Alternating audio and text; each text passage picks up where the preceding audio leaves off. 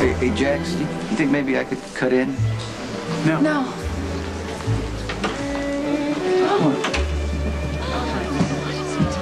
Sorry to break up the party. We're here on official business.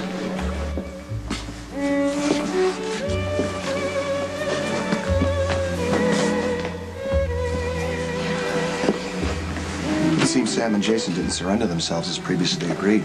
That would make them fugitives still. And now, you are officially an accessory. You want to arrest him, please?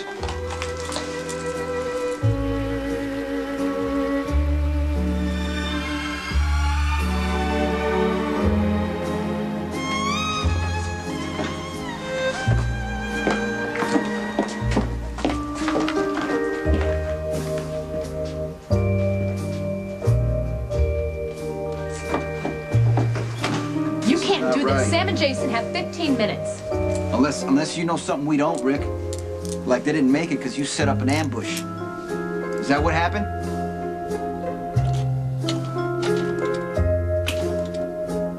Get out. Get out of the car.